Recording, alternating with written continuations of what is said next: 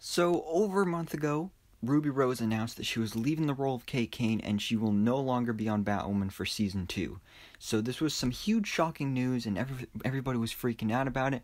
And then everybody freaked out about it even more when we found out that they weren't even going to recast Kate Kane. They were just going to bring on this new, completely different character of Ryan Wilder. And uh, everybody was like, oh, who are they going to cast? Who are they going to cast?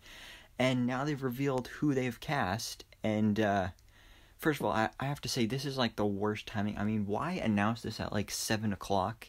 Um, at, at least that's the time where I am. I mean, I was about to start filming my episode 8 review for Stargirl. Um, so just a quick shout out there. If you watch Stargirl, if you like the show, then you should definitely hit that subscribe button so that you can watch my review for episode 8 when that comes out, probably like a couple hours from now, depending on how long it takes to film it and everything. But anyway, this is a video about Batwoman, so that's enough about Stargirl.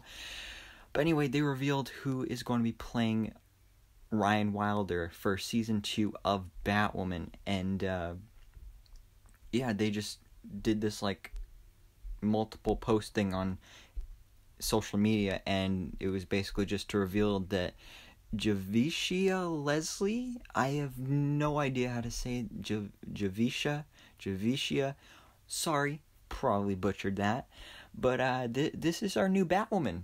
Um, so yeah, I, I don't I don't know her. I haven't seen her in anything, so I don't know how this is gonna go. I mean, all obviously you can tell that they wanted to not go with a white actress, especially with everything that's going on in America right now with the whole Black Lives Matter movement. So, I mean, this makes complete sense. Um, it was rumored a while ago that they were looking at Vanessa Morgan to take on the role, and I thought she would have been great. I don't know if things fell through with that, if she didn't want to do the role, if they didn't want her for the role or something. Uh, but they ended up choosing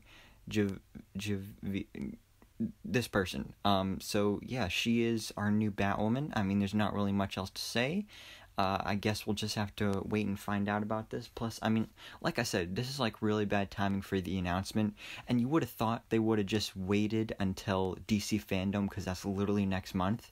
They're gonna announce a whole bunch of stuff about all things DC, and they're gonna have a Batwoman panel. So everybody was assuming that they would just you know wait until then and announce who's playing Batwoman, but no, they just drop it like right before my bedtime.